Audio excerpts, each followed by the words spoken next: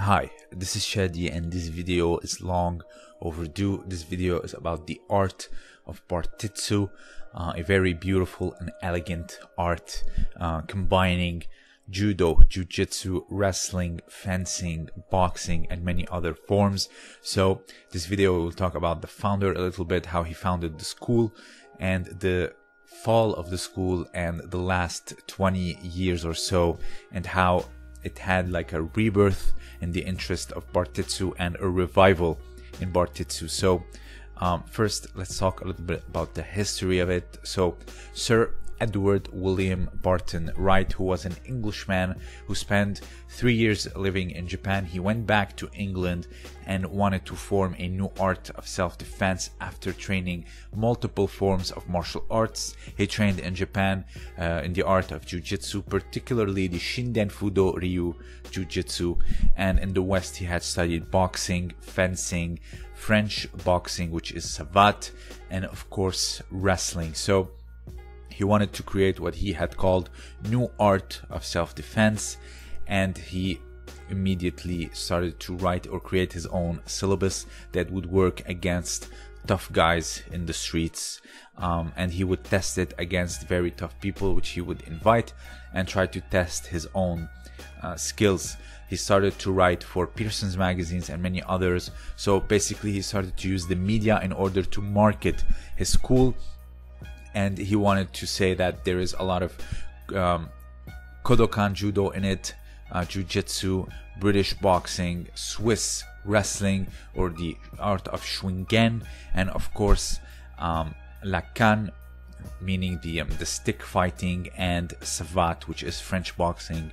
So he was really trying to put it uh, in the mainstream and trying to say that it has everything in it uh, in order to make it not only great uh, for marketing or you know to get people to come but also to show people that it is the best form of self-defense that you can train. And keep in mind back then you know the interest in jiu-jitsu or what they called back then japanese wrestling was very much um, on the rise and a lot of people were making these little films and instructionals of old jiu-jitsu as you see from the old footage that I use. So let's talk a little bit about the club.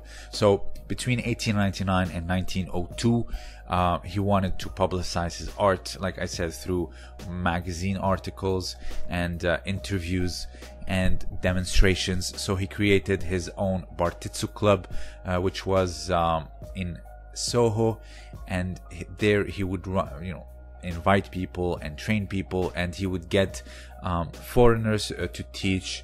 Uh, at first, he invited Kaneo Tani, not to be confused with Yukio Tani, and Seizo Yamamoto, and of course, 19 year old Yukio Tani to travel to London.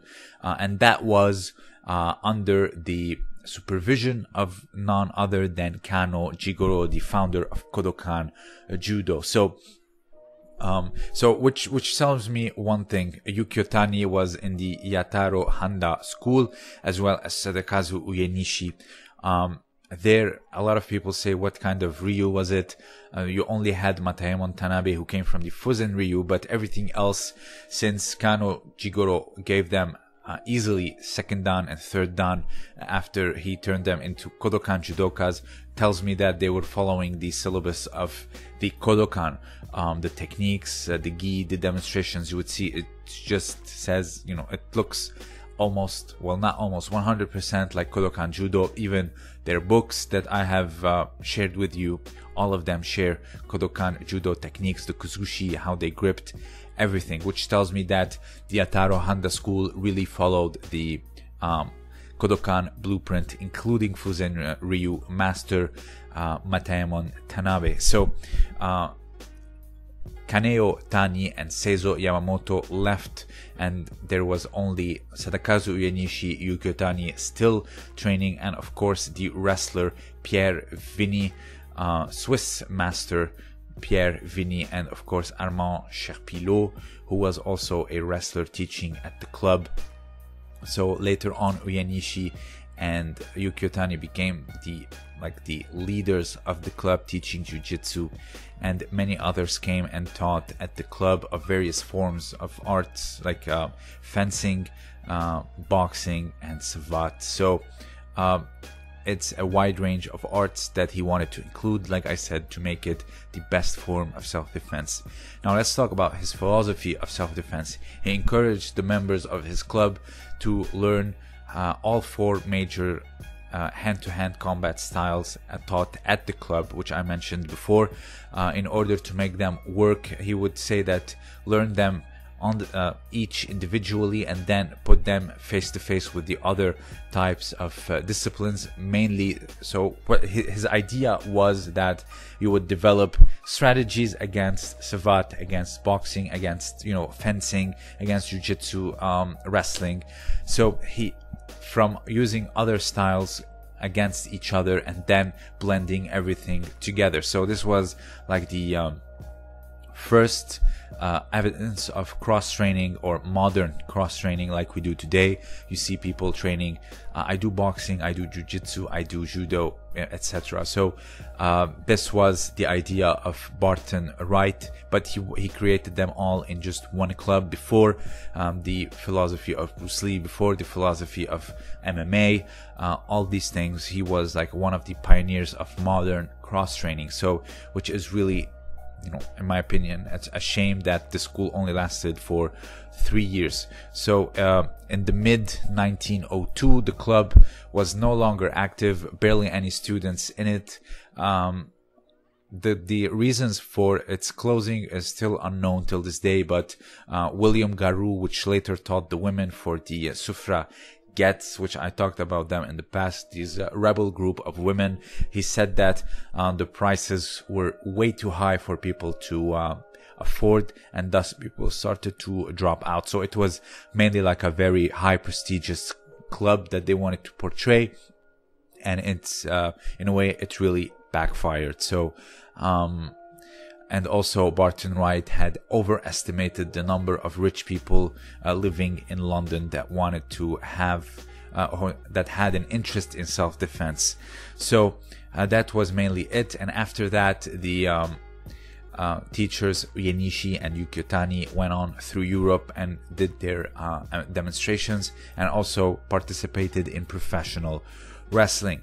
Uh, what really helped preserve this particular legacy up until recently, where people wanted to revive it, was actually through Sherlock Holmes. Sir, uh, Sir Arthur Conan Doyle uh, actually wrote in his stories talking about the adventure of the empty house back in 1903. He talked about um, the use of he wrote it as baritsu uh, uh, of the Japanese system of wrestling and the gentleman stick fighting. And you know he was basically describing the art of bartitsu and pugilism being in it in the mix. You watch uh, Sherlock Holmes in the movies. Um, this is what truly kept it alive was actually the novel of uh, Sir Arthur Conan Doyle. If it wasn't for that, there would be no interest um, in the last 20 years. So, um, so recently, let's talk about the interest and revival. So in 2001, um, the Journal of Martial Arts and Sciences started to republish the old articles of uh, Barton Wright that he wrote in 19 in 1899 up until 1901 uh, in the British Library, and they really preserved them. And they tr- really tried to create recreate the syllabus of uh, Barton Wright and try to create um, what he had achieved, all the, the memoirs that he had wrote from 1899 up until 1902, and they wanted to create what is known as like a neo Bartitsu. Um, to create the old, recreate the old syllabus, and try to really um, push it uh, to the next step, or maybe like a, evolve it in a sense, because it's a little bit uh, reflective of its time, which is the Edwardian slash Victorian era, and now it's a new time. So, um, in 2011, they produced a new DVD talking. Uh, I'm sorry, the new documentary called Bartitsu: The Lost Martial Art of Sherlock Holmes. Um, and then they talk about history and not only that, the new forms of Bartitsu schools that are um, pretty much alive, like the Bartitsu Society, the Bartitsu Club of New York, and the Bartitsu Club in general. So um, these are like there is still Bartitsu alive. Obviously, it's not um, the same lineage that was created by uh, Barton Wright, but nonetheless, it was revived um, by studying Barton Wright. So it is pretty much close. So if you have anything else to add, please let me know down below. Also, consider supporting me on Patreon. I have exclusive content for the patrons only. And please do not forget to check out Josh Simon's shop for historical articles about BJJ and historical t-shirts. This was Chadi and thank you for listening.